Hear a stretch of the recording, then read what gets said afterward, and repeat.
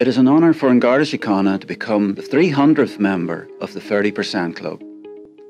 The 30% Club does great work here and globally to increase female representation at senior management level in large organisations such as our own. This is also a goal for An Garda Síochána and that is why we are delighted to be asked to become part of the club and make a contribution to this objective.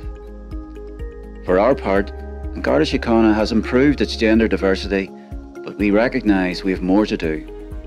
An Garda Síochána's two Deputy Commissioners are female, and 50% of our senior leadership team are now women. We have women heading up our major operational and administrative functions, and women involved in all areas of policing and national security.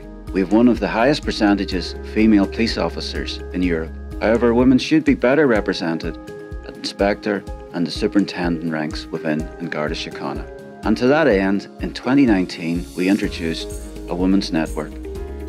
It's chaired by a Chief Superintendent and it supports and encourages female Gardaí to advance their careers within An Garda Síochána and also helps to identify any organisational barriers to women progressing that need redressing and resolved. The Women's Network has proven very beneficial for individuals and An Garda Síochána since its introduction. Policing is most effective when people can see themselves represented in their policing service.